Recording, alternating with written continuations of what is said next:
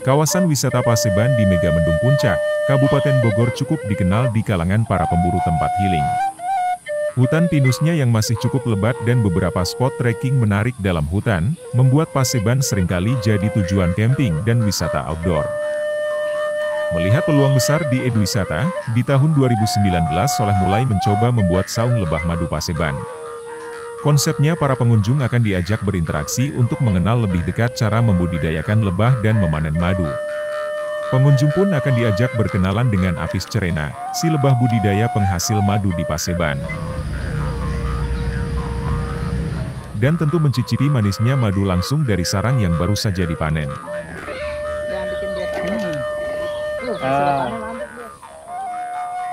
Ternyata kawasan yang masih asri di Paseban ini menjadi kawasan ideal untuk budidaya lebah.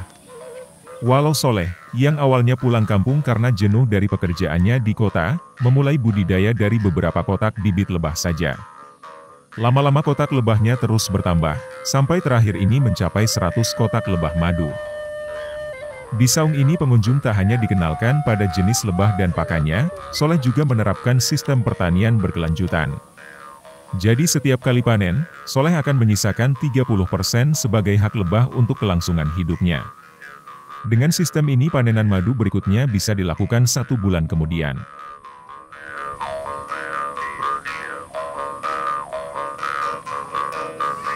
Hai Sobat Kontan, saat ini saya berada di Saung Lebah Madu Paseban Megamendung, Bogor, Jawa Barat.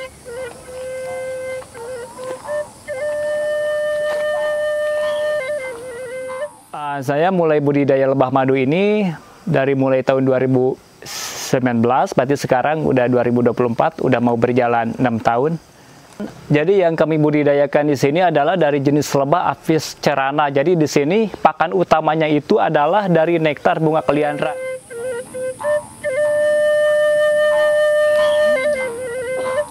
Melihat minat pengunjung yang cukup besar, Soleh memberanikan diri untuk menambah fasilitas dan kotak-kotak lebahnya dengan memakai pinjaman kur.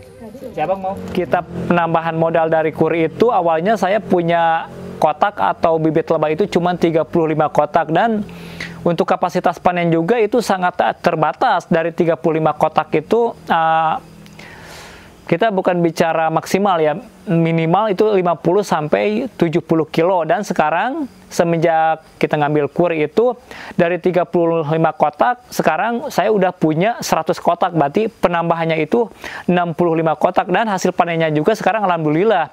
Awalnya dari 70 kilo sekarang bisa mencapai 200 kilo per bulan.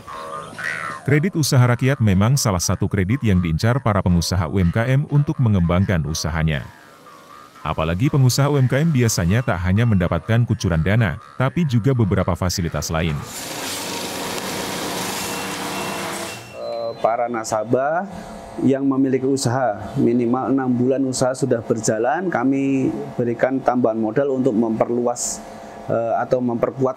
Kalau di binaan BRI itu pasti akan kami salurkan melalui loka-loka atau pasar ID gitu supaya mereka juga mem memiliki platform untuk penjualan uh, secara online atau daring. Kalau hampir semuanya kita masukkan ke sana Pak karena memang ini binaan kami gitu.